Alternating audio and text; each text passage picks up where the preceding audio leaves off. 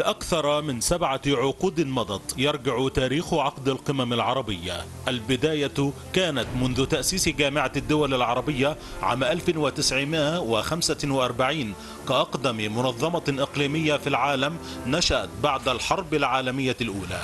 آنذاك أصبحت جامعة الدول العربية نقطة تحول مهمة في تاريخ العرب المعاصر.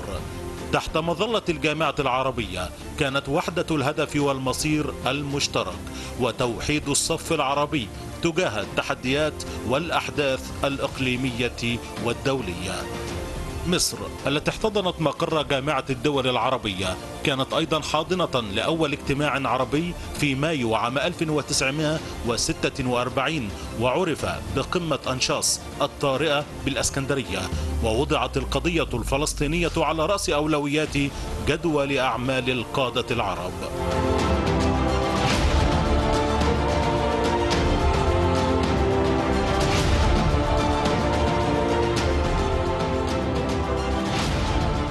توالى انعقاد القمم العربية بشكل دوري وأخرى بشكل طارئ وظلت القضية الفلسطينية الهاجس الأكبر للقادة العرب ومحور أعمال القمم العربية.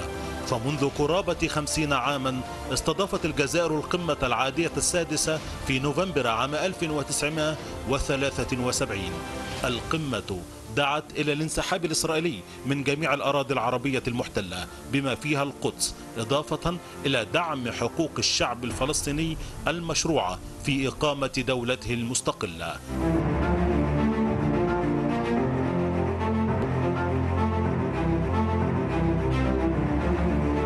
الجزائر. استضافت أول قمة عربية إلكترونية بدون أوراق في نسختها الحادية والثلاثين العام الماضي. وتظل القضية الفلسطينية على رأس جدول أعمال القادة العرب رغم التحديات الأخطر عالميا وإقليميا. وفي مقدمتها الأزمات الجيوسياسية والاقتصادية والأمنية والتغيرات المناخية وحروب الطاقة والغذاء.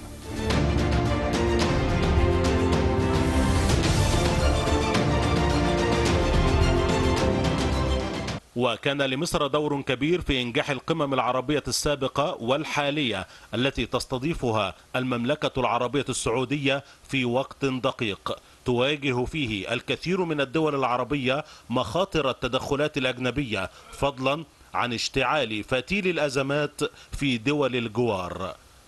محمد شلآمي التلفزيون المصري.